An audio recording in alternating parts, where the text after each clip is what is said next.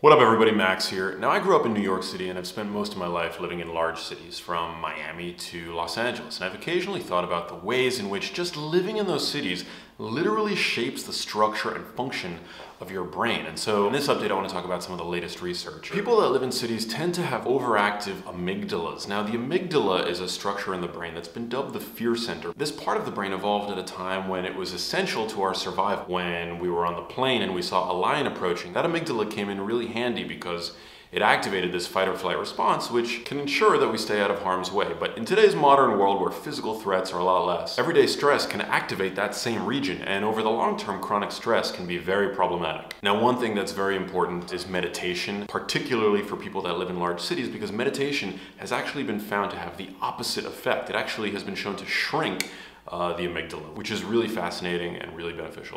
So very recently, researchers looked at the gut microbiome populations of US residents and compared them against residents of Papua New Guinea, which is one of the least industrialized nations in the world.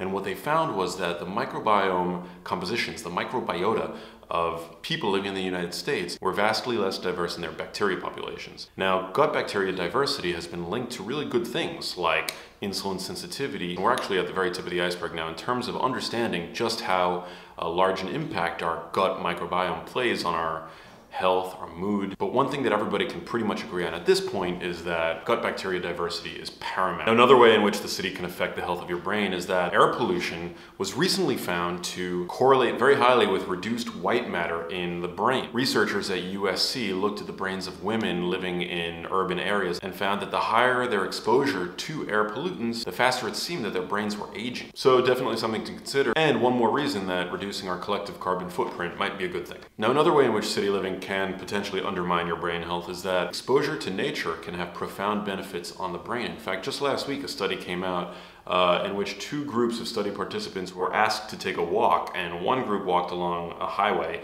and another group took more of a nature walk. Now, the group that was asked to take the nature walk showed less rumination at the end of the walk, and rumination can be a major predictor for depression, so this is a great thing. But living in a city is not all bad. In fact, one recent study to come out in the journal Psychoneuroendocrinology, try to say that three times fast, found that city inhabitants had higher levels of BDNF, which is a neurotrophic factor that's been shown to ensure the survival of existing neurons, but then also promote the growth of new brain cells. And nobody can deny that living in a city you know, provides great access to health resources and the like. So it's not all bad, but these are just things to be mindful of. I hope this was enlightening to you guys. Again, my name is Max Lugavere. If you like these, subscribe to my channel, and I will see you next time. Peace.